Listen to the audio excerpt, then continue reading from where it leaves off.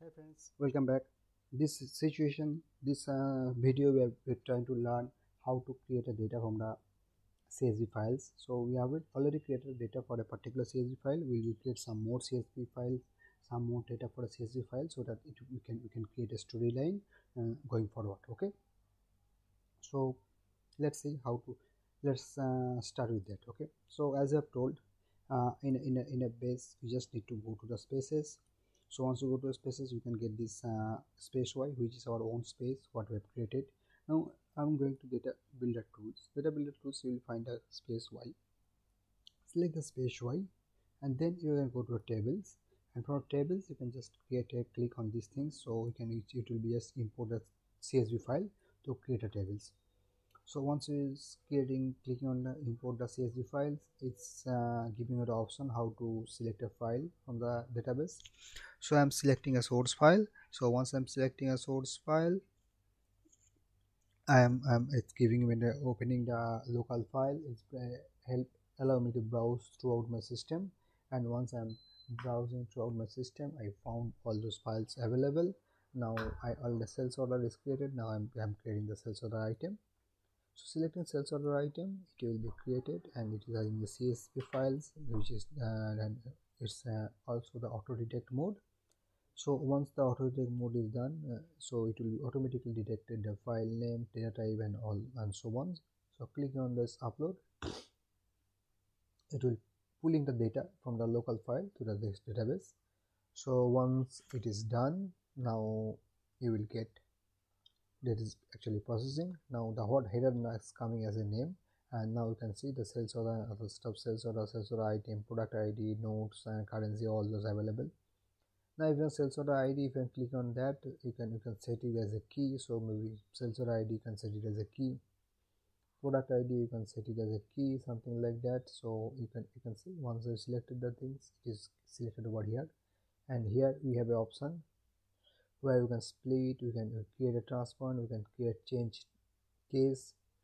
So change to lowercase change to uppercase like you can change the cases all those information are available okay?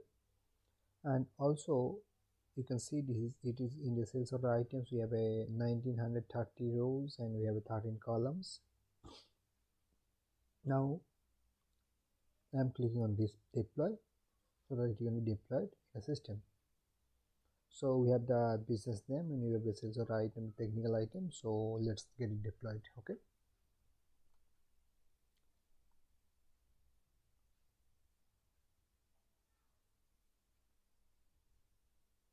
Here the option. You can you can change this. Your sales order and sales order item are already deployed. Again you can you can go you can you can click the sales order. You can go you can edit this table you have the columns. You can you can open the tables. You can have the number list of columns here. So once you select the columns you have these columns available like what is the name of the column what is the data type what is the default value or null not null is accepted or it is visible or invisible. Okay. So once it is a sales order id so if you would like to change into integer 64 to something else so you can change it to integer 64 to integer something else. So it, you can change into integer you can change into long binary blah blah anything you can be changed. As it is the case so i'm not going to take the risk but you can you can change the date you can change the integer. Change by it's also integer. Let me check into integer 64 to integer. I hope it should not be changed do anything. So now i'm, I'm save these things. And once you are saving you need to do a deploy. So table saved. Now we are deploying the table. So once deployed table it is actually it is actually kind of save and activation. So table is activated and it is, it is available over there okay? Same way if you if you if you just move this check mark that means it will be not visible not visible. So it is kind of visibility. So if it is, would like to hide some column just move this column. So it will be hided hide. And if you check them so it will be available. If you would like to do a primary key so just click on this not null so it will be not it will accept not null information okay? If you would like to do some key elements you can just click this check these things. So it will be it will be considered as a key okay? So sales order id maybe i'm considering as a key okay? So this is all about a nutshell. So once i'm said i'm deploying this file okay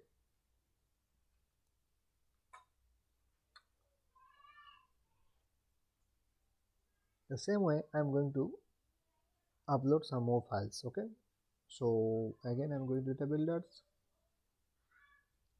going to tables i'm going to input from files going from csv i'm doing very quickly so hope you can follow this.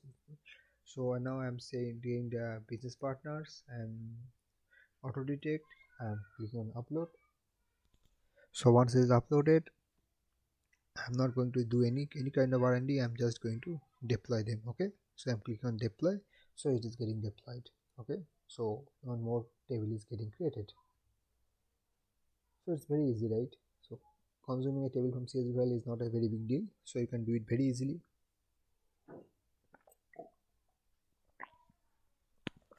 What do you say? The same way one more file i'm going to upload that is the address files so i'm again going to the going following the same step cs files addresses auto detect. Use the first row as a column header. So if you have a header in so that you can first row as a column header. If you don't have a header you can do that same things. Uh, you can remove these things. So in that case you need to provide probably need to provide the header name.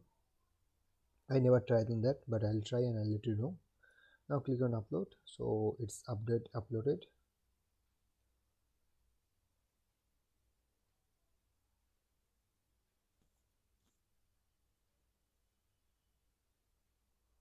once it is uploaded then I'm clicking on the deploy. So it can deploy these things okay? So I'm clicking on the deploy. So let it be deployed.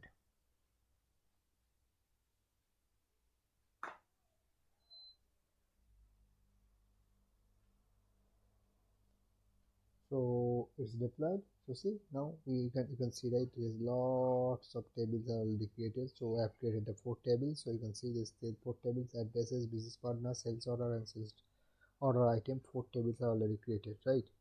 Now consider i just would like to do some changes in the addresses table. So i'm just clicking on the addresses table. Okay. So I'll, I'll think it's better we can we can end up today. And maybe the next session we can discuss on the table features properties. Thank you.